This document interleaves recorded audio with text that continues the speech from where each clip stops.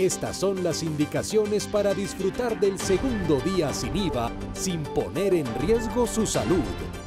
El 3 y el 19 de julio en Colombia son días sin IVA. Aquí van 15 acciones para garantizar una jornada sin aglomeraciones. Si está pendiente del resultado de una prueba de coronavirus o si tiene fiebre, tos u otro síntoma, no salga. Si puede evitar salir estos días, hágalo. En lo posible, haga sus compras por comercio electrónico. Si piensa adquirir electrodomésticos, computadores y equipos de comunicaciones, recuerde que las grandes superficies solo podrán vender de manera virtual. Si puede hacer otras compras por comercio electrónico, no salga. Si adquiere algún producto por internet, este le llegará a su casa o podrá reclamarlo en los 15 días siguientes. El vendedor debe notificarlo. Si solo puede hacer la compra presencialmente, consulte antes el catálogo virtual para reducir al mínimo su presencia en el respectivo negocio. Desde el día anterior, verifique si en su ciudad aplican horarios especiales o extendidos.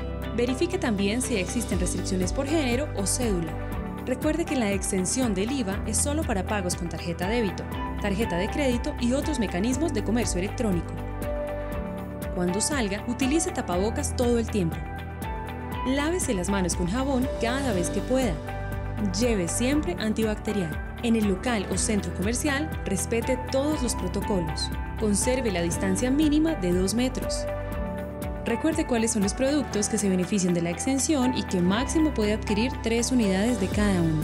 Prendas de vestir y accesorios de vestuario hasta 712.140 pesos. Electrodomésticos hasta 2.848.560 pesos.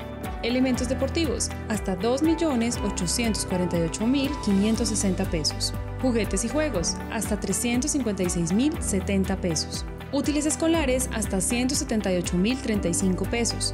Bienes e insumos para el agro, hasta 2.848.560 pesos.